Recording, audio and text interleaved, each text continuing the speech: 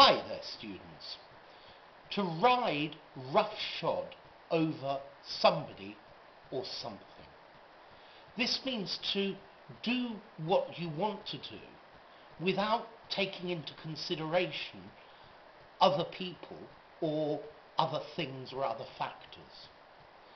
So, for example, man is riding roughshod over his natural environment.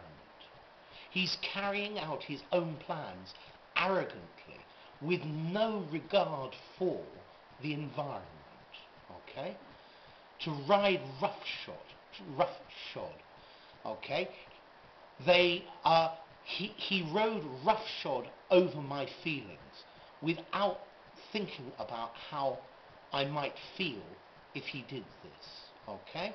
Without thinking, without caring about other people's rights or opinions or or just justice. Yeah.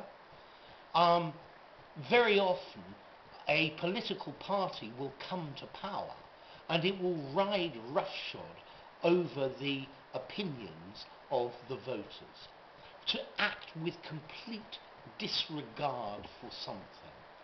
Okay. So, what's the origin of this phrase? Well, you shoe a horse. A horse has horseshoes. And if a horse is roughshod, the nails are sticking out.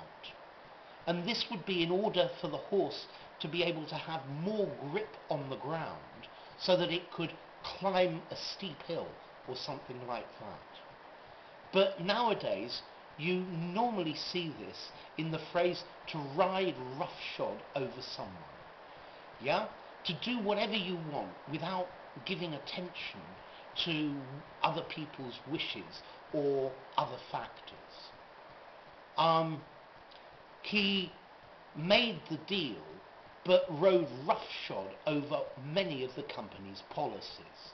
So he made the deal, but he didn't pay any attention at all to the uh, policies or the ways of working of the company. Yeah? It's not a nice thing to do to ride roughshod over somebody.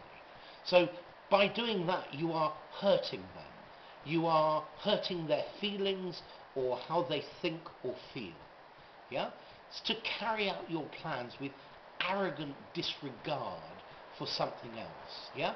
So to treat somebody with contempt by doing exactly what you want and not taking something into account. When he rode roughshod over her feelings, she decided enough was enough and walked out on him. Okay? To treat inconsiderately, without respect, to ignore what other people think or to ignore other things. Okay?